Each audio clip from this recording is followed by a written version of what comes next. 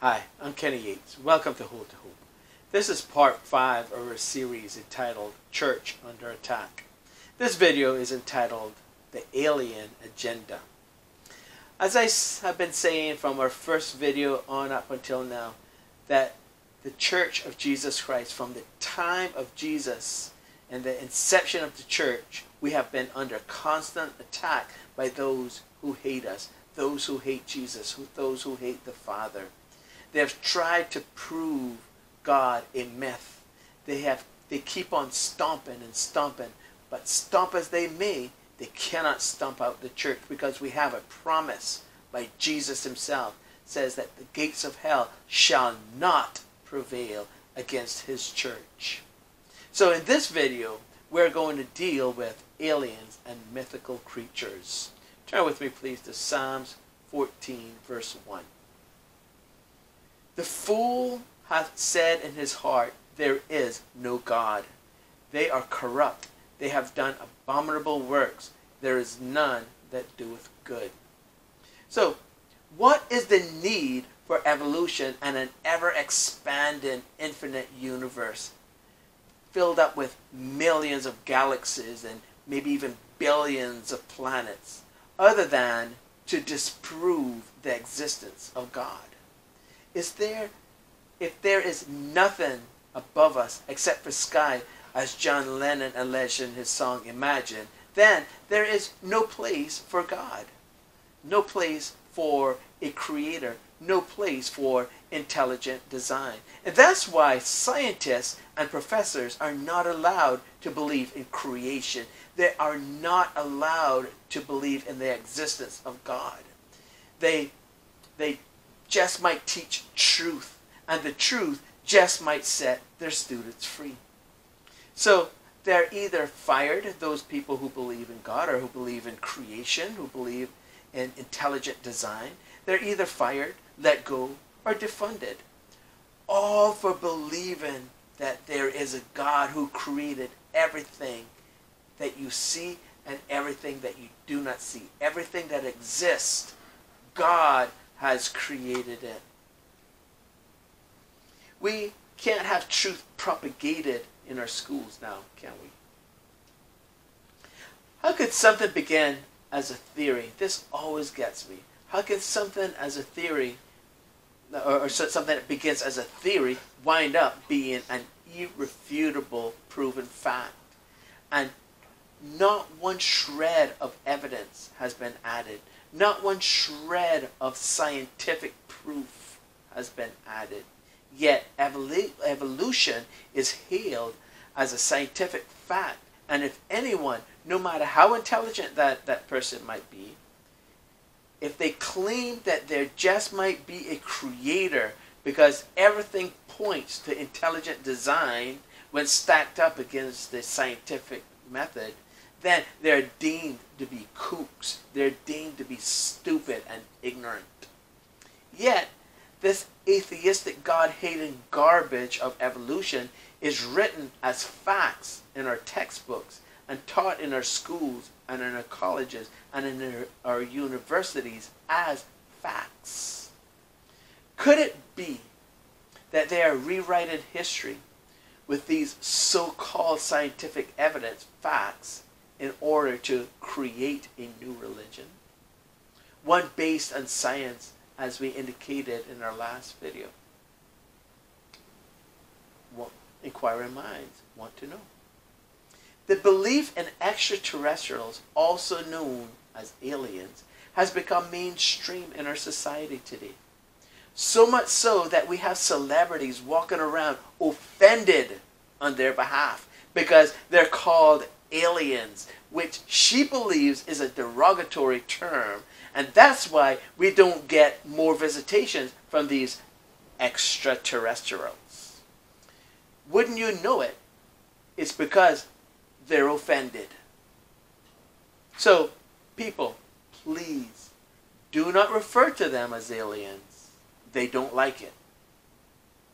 Not only that, but when asked if she would date an alien, she declared, I'm so tired of humans, bring me an alien.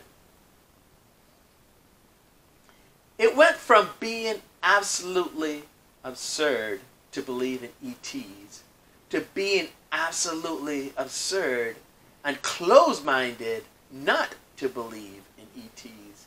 In fact, you are now a narcissist if you believe that only Earth has life forms and that we are the center of God's creation. I wonder, could it be that they're preparing us for some big happening in the future under the guise of aliens? The way it works, you see, is create a diversion. And while all eyes are diverted, slip into things that you have planned. The people are too distracted to notice. So this now begs the question Are aliens, or excuse me, are extraterrestrials real?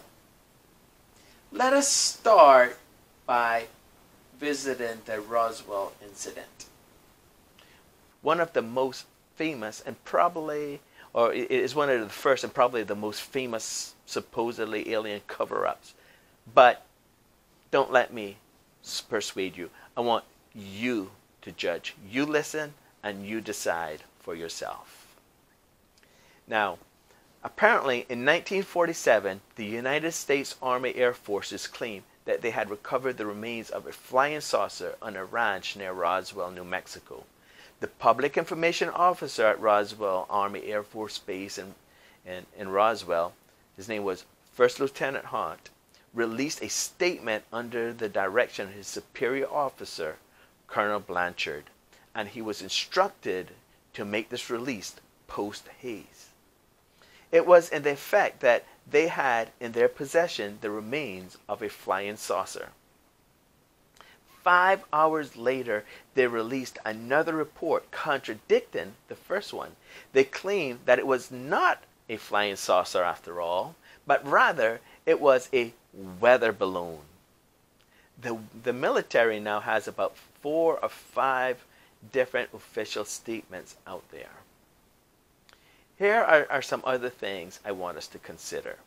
One, first of all, the Army would not release that kind of information post haste so flippantly if they indeed wanted to keep such information a secret, information that they had alien spaceship in their possession or the remains thereof. The other thing is, if they had alien technology, would they not have reverse engineered the technology and replicated it by now? But instead, we went to the moon with less technology than we have in our cell phones and passed right through the Van Allen radiation belt with no problem. One of the astronauts claimed that they were able to pass through this belt because at the time they did not know about it and therefore it did not affect them. Now, does that make sense? Now, today, armed with this new knowledge, the knowledge of the Van Allen radiation belt and way, way better technology than they had in, in the 60s, NASA claims that they have to, to solve the problem of passing through this Van Allen radiation belt before they can send a man through on Orion. Just some things that just do not add up. They just don't add up. Secondly, if they really wanted to cover up the first story, they would have made it a little bit more believable than a weather balloon crash because the two are like night and day in contrast. I mean, think about it. If they had a weather balloon testing the atmosphere, would they not have, have been monitoring it? And would they not have known when it crashed? Would they not have known where it crashed? Third, what better way to start a controversy than exactly what happened with the whole scripted Roswell incident. Instead of squashing the alien spaceship crash rumors, the new story was the right recipe to create rumors and controversy about aliens without having to show one bit, one shred, no type of evidence whatsoever, and the rumors would be spread like wildfire. Number four, if it was indeed a crash flying, uh, flying saucer, Why did their alien friends, their comrades, their, their fellow aliens not return for the remains? Either the dead bodies or come, come back to see if they were alive or, or even to claim the ship itself. But instead, we hear the sound of crickets. Nothing at all. Number five, why have the aliens not revealed themselves to the whole world in more than the 70 years that have passed now? Number six, if it was the earthlings who, who discovered them, the aliens, would we not have revealed ourselves to them? I'm sure we would have. Number seven, after all of this time, we are still having or, or receiving sketchy information, blurred videos, and impossible to prove facts. Number eight, and seriously, do you really believe that for thousands of years aliens have visited and kept themselves hidden, kept themselves secret? But to what, to what purpose? Let me remind you that God said nothing about aliens in His scripture. He does, however, mention angels, heavenly beings, demons, evil spirits, and even ghosts are mentioned in the Bible. I mean, matter of fact, one could even argue for mythological creatures such as satyrs, fauns, Pan, Krampus. These all are, are depicted as men with horns and legs of goats. And that's mentioned in the Bible. So one could argue for that. Matter of fact, one could even argue for the Lilitu. Lily too is a mythical woman with bird legs and sometimes wings. It is sometimes translated in the Bible as the night owl or the night hag, or sometimes it's translated as Lilitu, depending on what version of the Bible and the translator's preference. But about aliens, the Bible is completely silent. Aliens are described as short, gray alien people with large, black, almond shaped eyes.